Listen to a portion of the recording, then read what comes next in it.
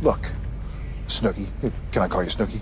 No, it's Nicole now. Welcome to Ms. Mojo, and today we're counting down our picks for the famous faces whose appearances on Supernatural may have slipped your minds like anything off of Dean's Impala. We're excluding anyone with a major recurring role like Lauren Cohan in season 3, since those are generally pretty memorable. Though a couple appearances or minor cameos is fine. Collecting early. Oh, please. White gloves.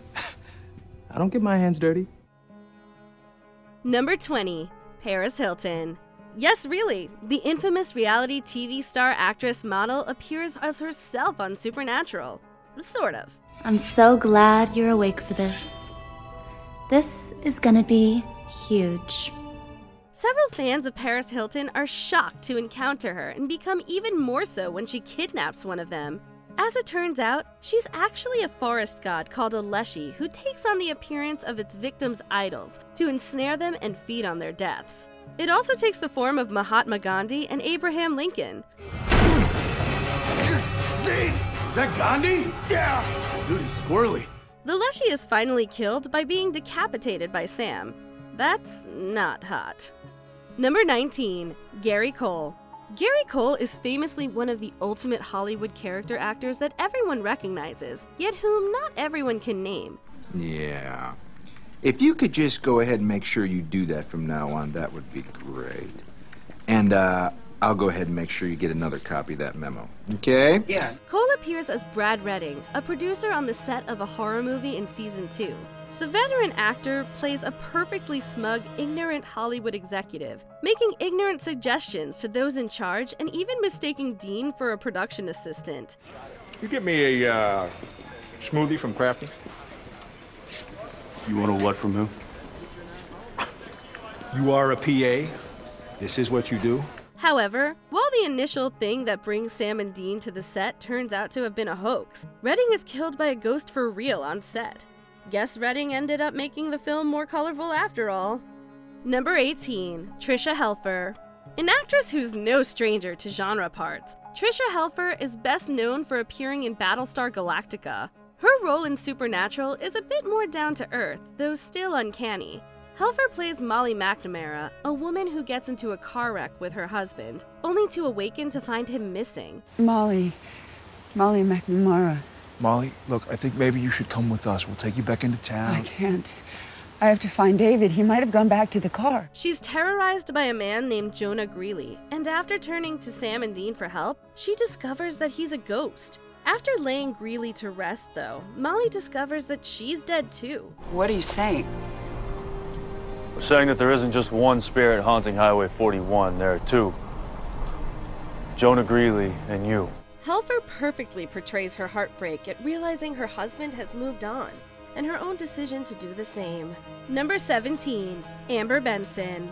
Amber Benson plays Lenore, a vampire who resists her kind's urges to feed on humans. Benson is best known for playing Tara on Buffy the Vampire Slayer, so this part is definitely in her wheelhouse. In her first appearance, Lenore is revealed as a vamp who feeds on cow blood instead of humans. Once you have the scent, you'll keep tracking us. It doesn't matter where we go. Hunters will find us. So you're asking us not to follow you? We you? have a right to live. We're not hurting anyone. However, she is tempted and tortured by a sadistic hunter, Gordon Walker. The boys free her after she successfully proves she still has some humanity left. Tragically, her second appearance is also her last, as Lenore's vampire instincts return, along with the progenitor of monsters, Eve, and she requests to be put down. I'll do it again. I can't stop. Not anymore. You have to. Please. Lenore? Number 16, Charisma Carpenter.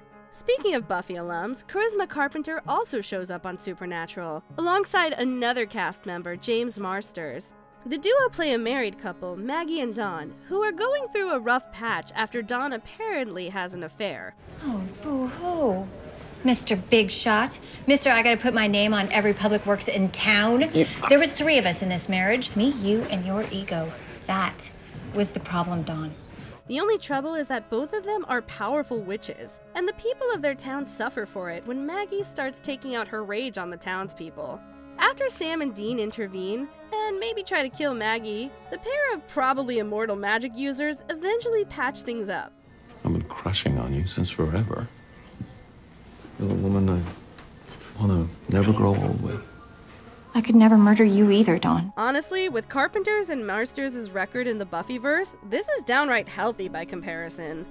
Number 15, Sierra McCormick. Don't you want to be here? Don't you love me? Sure I do. We all do, honey. We all love you so much. Don't be mean to me, Daddy. Before her breakout role on the Disney Channel sitcom Ant Farm, Sierra McCormick first debuted on TV screens in a fictional role via Supernatural. McCormick plays Zoe Fremont, a young girl who is possessed by the demon Lilith, as well as Lilith herself. Lilith terrorizes Zoe's family, all in a bid to manipulate Sam into killing her. As Lilith, McCormick is surprisingly terrifying. She's so scary that it's no wonder Dean is haunted by hallucinations of her in an episode the following season. What's the matter, Dean? Don't you remember all the fun you had down there? You do remember. Four months is like 40 years in hell. The fact that it was her acting debut only makes the terror she inspires that much more impressive.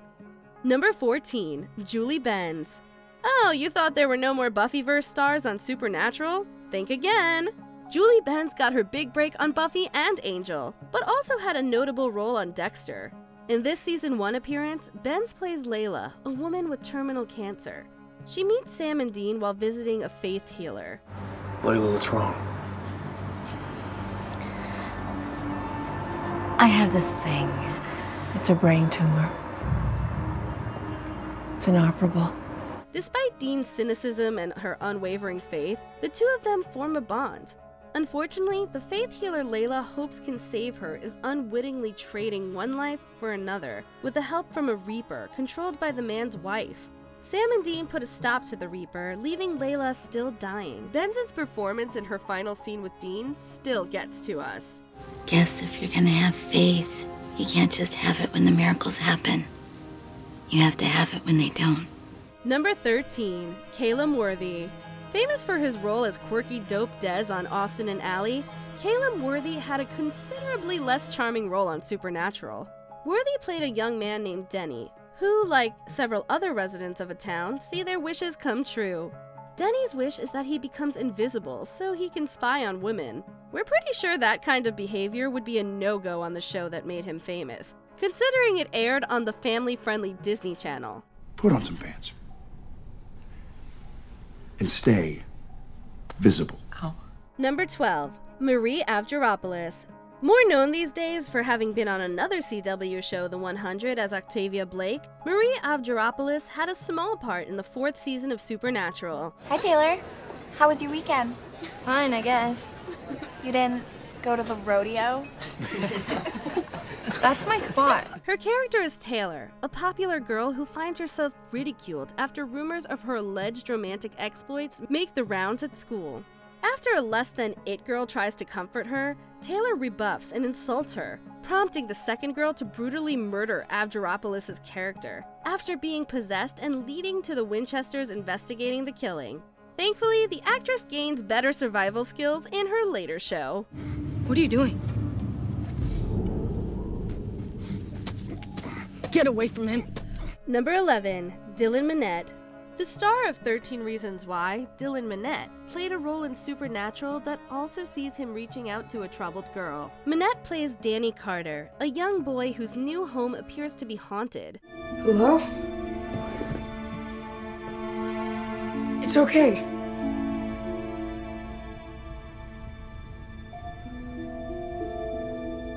I'm Danny. However, far from the usual sort of vengeful spirit the Winchesters run into, this girl is actually still alive and has been living behind the walls for years, making it a rare episode without supernatural events. Like on the Netflix show, Minnette's character is too late to prevent the girl's death, as she's too far gone, or at least too murderous to be saved. Number 10, Adrianne Palicki. I'm proud of you. And you're gonna knock him dead on Monday and you're gonna get that full ride. I know it. What would I do without you? Crash and burn. Adrianne Palicki plays Jessica, Sam's girlfriend, whose murder at the hands of a demon motivates Sam into returning to the life of a hunter. Now we can practically hear all of the die-hard Supernatural fans typing, Who could forget about Jessica? To which we can only say, look, Supernatural is. It's a long show, okay? Despite her pivotal part, Palicki only reappears a couple of times throughout the series in cameos, dream sequences, and being impersonated by the devil. There is reason for hope. No, Sam. There isn't. So it's understandable that some of the more casual fans forgot that the actress who went on to greater fame on Friday Night Lights, Agents of S.H.I.E.L.D., and The Orville also appeared in this crucial supernatural role. Number 9. Alden Ehrenreich. What? Young Han Solo himself was in Supernatural? Yep, a long, long time ago in a season far, far away. The first one, in fact. Alden Ehrenreich appeared in the second episode of the series. The solo actor appeared as Ben Collins, whose older brother goes missing in the woods after being targeted by a Wendigo. They went this way. Together with the Winchesters, Ben searches for and eventually rescues his brother, making for a reunion that was probably more satisfying than Solo's performance at the box office. Number 8. Candice Accola. Before she gained recognition on another supernatural CW show, The Vampire Diaries, Candice Accola, also known as Candice King, appeared on Supernatural in a flashback. She plays Amanda, a girl who briefly dates Dean at one of the many high schools the Winchesters attend. In the midnight screening of I Spit on Your Grave at the Cinedome. Uh, I can't. I have a curfew at 11.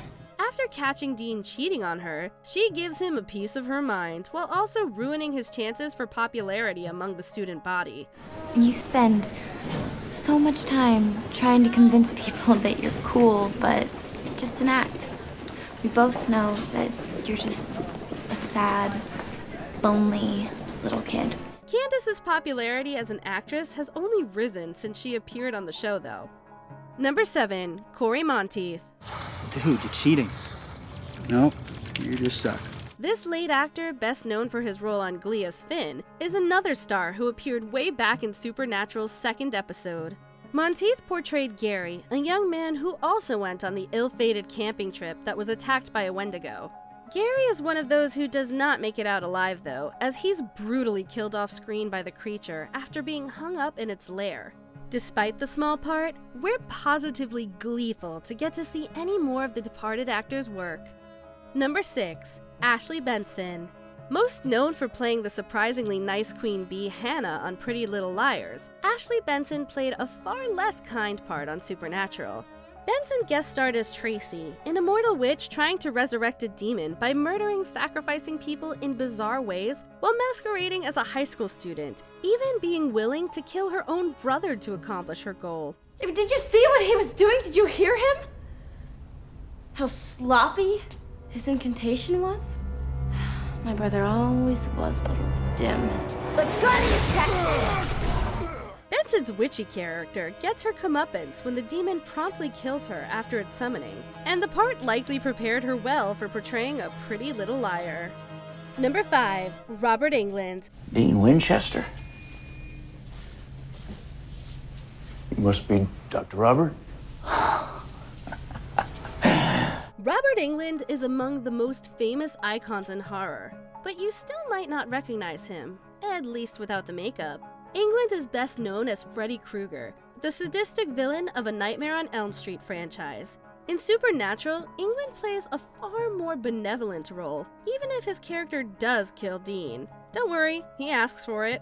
Englund's character, Dr. Robert, helps Dean die for several minutes so that he can speak to death. Are we ready? Hmm?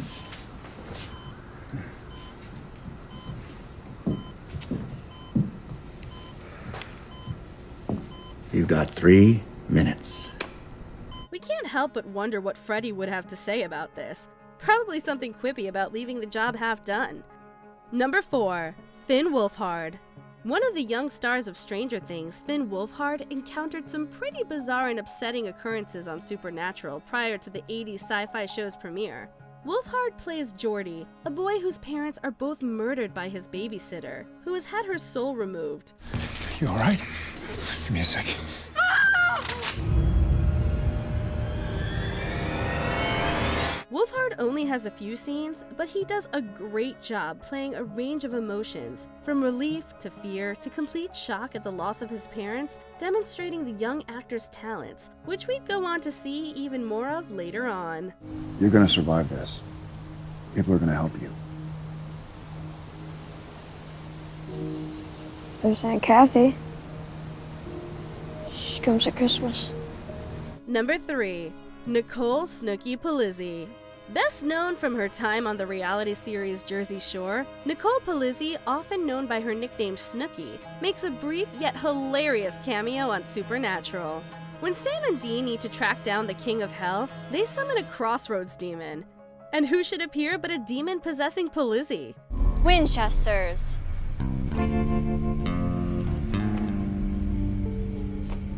Is, is that, uh, well, that explains a lot. The Snooki demon reluctantly helps the Winchesters out and points them in Crowley's direction. However, the boys exorcise the entity from Polizzi's body instead of setting her free. Given how cutthroat show business can be, we're not sure whether removing the demon would have hurt or helped her career. Seriously, an exorcism? We had a deal! See you, Snooks. Number 2. Linda Blair.